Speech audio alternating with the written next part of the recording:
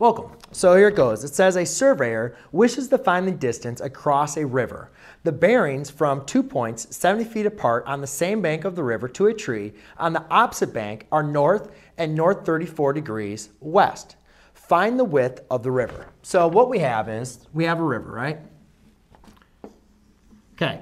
So it says there's two points um, that are on the same bank of the river. So we'll just say kind of two points here and two points here. Then it says um, that these distance is 70, 70 feet apart. All right? And so since they're 70 feet apart, there's now there's also two bearings on this for those two points to a tree on the opposite bank are north and north 34 degrees west. So let's say I have a tree here on this other bank. So to get to this tree, one bearing is due north and the other bearing is due north, but 34 degrees west. So you could say 34 degrees is going to be that angle right there with the bearing.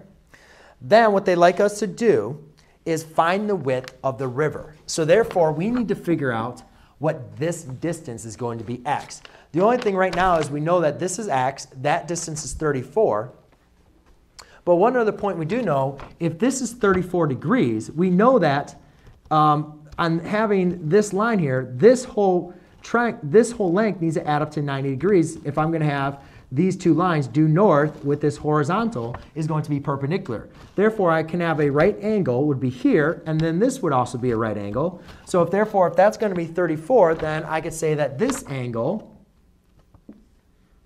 has to be 56 degrees. So what I've created now is an angle with the theta, with an angle of 56 degrees,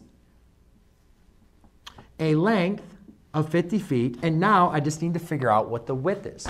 So to be able to do that, I think of my trigonometric identities, trigonometric functions, and say which trigonometric function would work for this if I have the opposite side from my angle and my adjacent side. And the answer is tangent.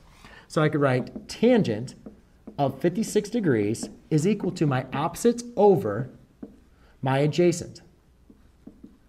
Therefore, multiplying by 50 feet, I'm now going to get x, or by 70 feet, I get x equals 70 feet times the tangent of 56.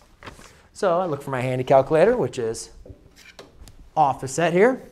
And now I go, just go ahead and take uh, tangent of 56 times 70. That's not right uh, 70 times the tangent of 56. Forgot to close my parentheses, which is now going to give me 103.77. Therefore, x equals 103.77 feet.